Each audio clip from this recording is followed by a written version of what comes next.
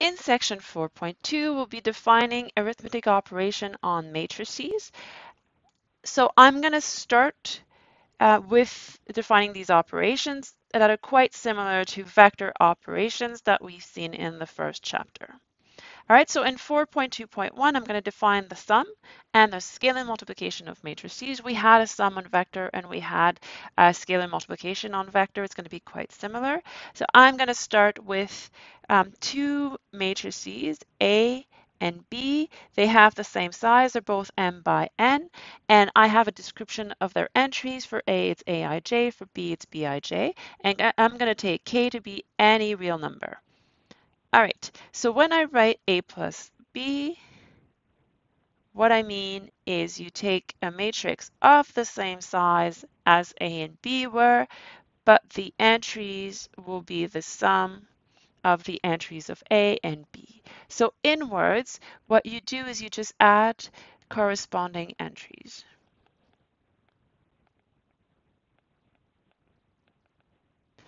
All right, for the subtraction, um, I'm going to subtract corresponding entries, so it's going to look quite similar. The only difference will be that it's going to be a minus instead of a plus, so I'm going to subtract corresponding entries. Scalar multiplication, I'm going to replace each entry by k times that entry. So I'm going to multiply every single entry by k.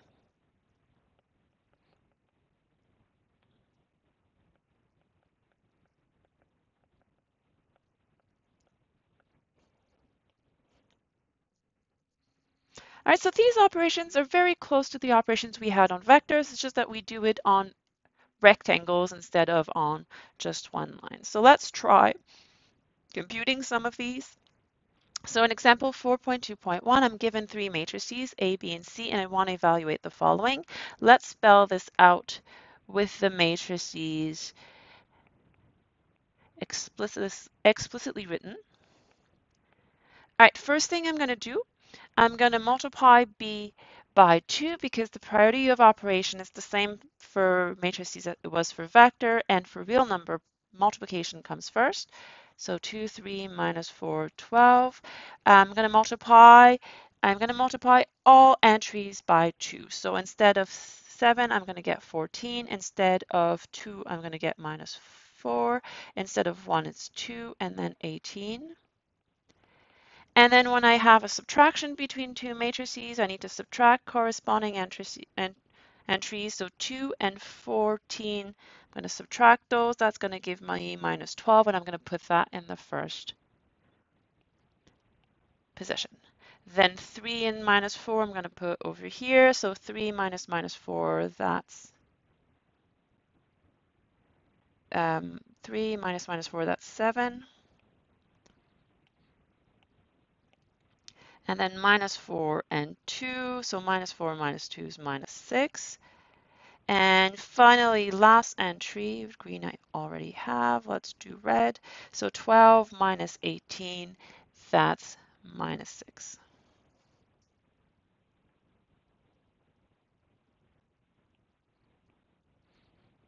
All right, so entry by entry, you just have a different shape of entries that you had for um, vectors. All right, so let's try this one. I have 3 times A plus C. All right, so I can multiply the 3 in. I'll get 6, 9 minus 12, 36. But then when I get to adding these matrices, I have trouble because they're not of the same size. So I cannot, we've just seen that that wouldn't be the same matrix. I cannot put zeros here. They're not the same size. That means this is not defined, so it does not exist. The addition and the subtraction were defined only for matrices of the same size.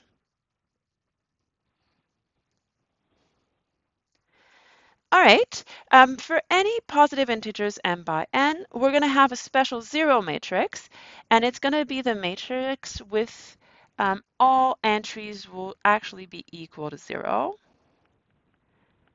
So that means I have m rows and columns and all entries are simply zero. Nothing but zeros in sight. All right, so let's try some algebra with this matrix. If I have 1, 3, 5, 2, 5, 2 4, 6 um, plus 0, that means I take this matrix, uh, 2 by 3, so 2 rows, 3 columns.